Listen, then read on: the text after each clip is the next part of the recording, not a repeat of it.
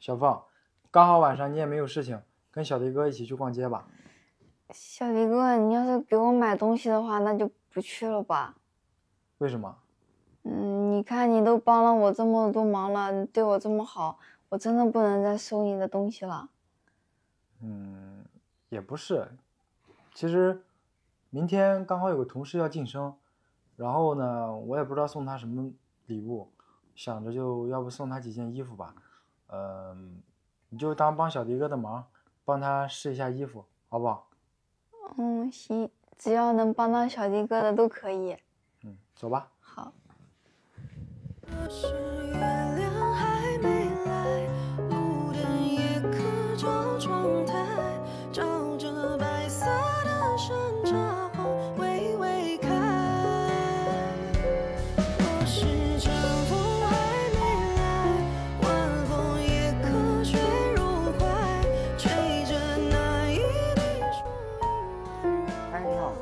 刚才那个女孩试的那些衣服一共多少钱？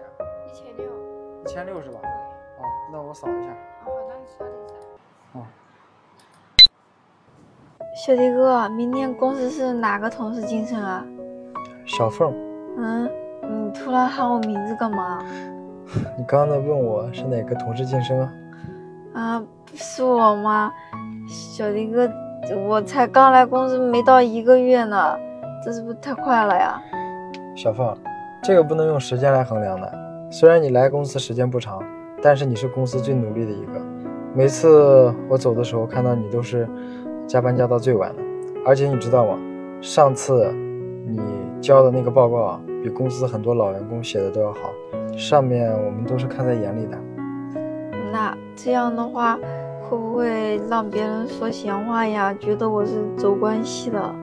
没关系啊，让他们说，让他们所有人都知道你是我的关系进来的，这样以后他们都不敢再欺负你了。小迪哥，这样这样别人这样不好吧？这样会招人家嫉妒的。小凤，没关系，只要小迪哥在公司一天，他们任何人嫉妒你也没有用。就算嫉妒你，他们也不敢把你怎么样。我就是要让公司所有人都知道，你是我的人。什么？小迪哥，你在说什么呀？口口误，我说错了，你是我带来的人。每一次当爱在靠近，感觉它在紧紧地抱住你。